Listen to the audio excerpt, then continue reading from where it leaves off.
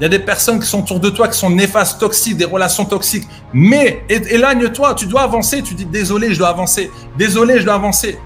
Imagine que tu es en train d'aller sur la montagne, tu vas aller au sommet, tu veux monter et tu as des personnes toxiques autour de toi. Non, tu vas pas pouvoir y aller. Non, ne le fais pas. Non, ne le fais pas, tu n'es pas capable, c'est pas possible, etc. Tu dis laissez-moi tranquille, vous, vous restez en bas, mais moi je monte. Moi je monte, je vais de gloire en gloire. Moi je monte, j'ai ma destinée. Moi je vais là-haut. Moi je vais là-bas. C'est ça que tu dois te dire.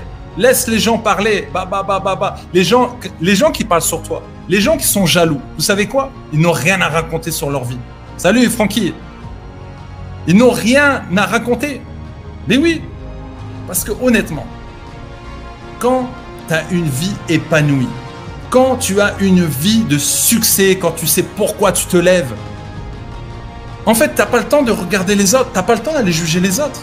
Parce que tu es acteur de ta vie, tu n'es pas spectateur de ta vie.